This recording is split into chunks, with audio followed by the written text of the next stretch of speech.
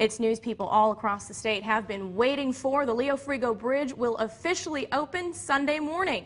The Department of Transportation says work is finished and opening the bridge just in time for the big game Sunday afternoon.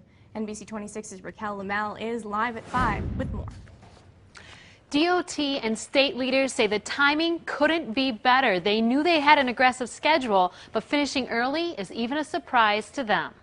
A packed room as people wait to hear the big news. As of this Sunday morning by 9:30 uh, in the morning, uh, the Leo Frigo Memorial Bridge will be open. 102 days after the sagging bridge closed down, repairs are complete, 12 days ahead of schedule. Structurally, everything's ready to go.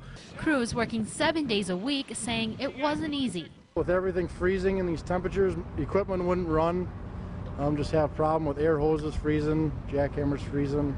Repairs and the investigation on the bridge estimated to cost around $20 million, 90% of which will be covered by federal funding. The benefit to the federal government stepping up in this case is it allows us to make sure our resources stay focused on projects like 41 and others across the state, and we don't have to take money away from those projects. The bridge investigation is still underway. DOT staff hope to have results and release them to the public by the end of the month. Now, DOT leaders are saying that all the work and repairs done on the bridge didn't have an impact on any of the other projects in our area. Everything is still running on time. Live in the Green Bay newsroom, Raquel Amel, NBC 26.